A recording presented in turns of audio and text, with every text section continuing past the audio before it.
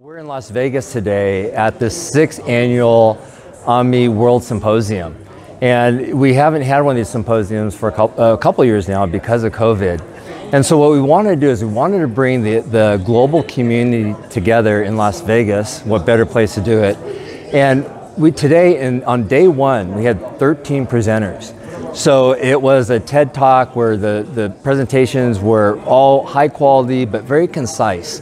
And by doing that, what we were trying to do is we were trying to have many different presenters from all over the world present their ideas, how they place these implants, or thoughts on uh, different parts of just implantology in general.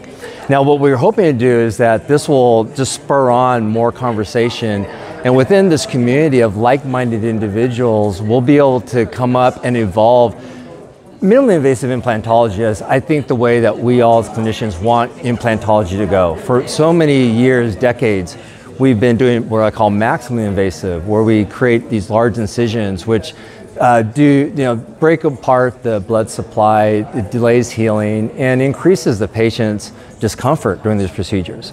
So now with the new designs of the implant that we're discussing today, the MAGiCore, we're, we, are coming up with these new protocols where we can be very conservative our patients can have multiple implants placed uh, with minimal grafting and minimal discomfort. Many of the patients that I've treated, we've done sinus lifts and uh, that night we're out having dinner. So it's amazing what minimally invasive implantology can do.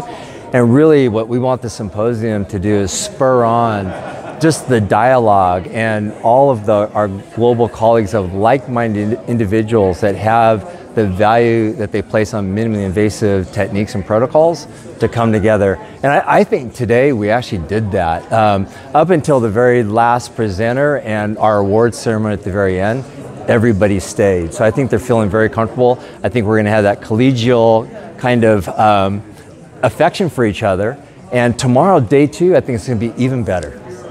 So thank you very much.